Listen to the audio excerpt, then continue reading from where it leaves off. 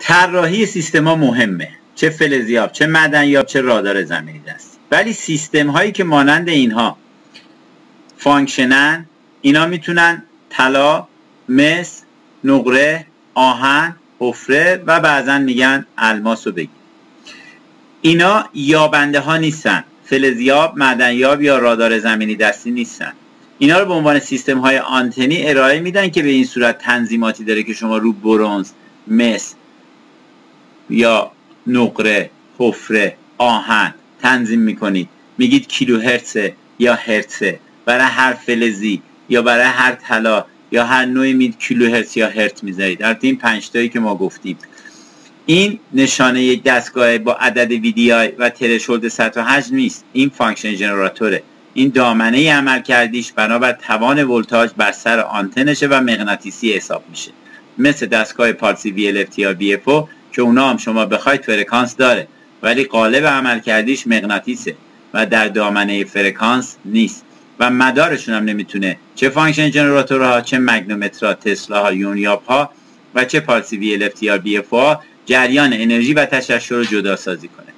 دستگاه هایی که توانایی عملیاتی دارن عدد ویدیای و ترشولد 108 دارن می‌تونن طلا رو در عمق بگیرن و جدا سازی کنن. به نسبت عمقی که براشون در نظر گرفته شده.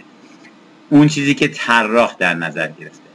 پس شما با function ها در سطح می‌تونید مثل اینجا که دارید می‌بینید یه فلز رو بگیرید حتی طلا رو بگیرید ولی در عمق نمی‌تونید بگیرید. همونجور که پارتی وی یا بی در عمق کم می‌گیرن.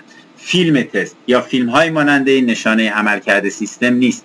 هر کسی می‌خواد سیستمی رو تهیه کنه باید خودش بگیره دستش ببینه می‌تونه باش کار کنه و توانایی اون سیستم در گرفتن فلزات به خصوص طلا در عمق حداقل میگیم یک متر بسیار مهمه و خود شخص باید این کار رو انجام بده. کسی که می‌خواد تهیه کنه چون تواناییشو به دست بیاره.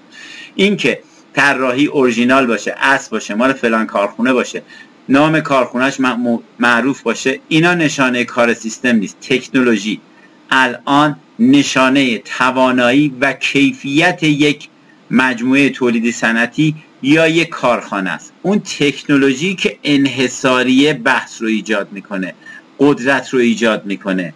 و اینکه بگید اورژینال آمریکایی اصل برنده اینا نشانه کیفیت نیست. کیفیت در طراحی و اون طراح می‌تونه مال هر کجای دنیا باشه بهترین سیستم رو ارائه کنه که بتونه طلا و فلزات رو به خصوص طلا رو در عمق بگیره. این که میگی دستگاه خارجی اورژینال اصل فیلم تست داره این نشانه کارش نیست. نشانه کار زمانی مشخصه که خود خریدار بتونه یا تهیه کننده اون فلز رو در عمق بگیره. اینا همه جنبه های تبلیغاتی داره. مال آمریکاست مال انگلیس مال ایتالیاست. نه.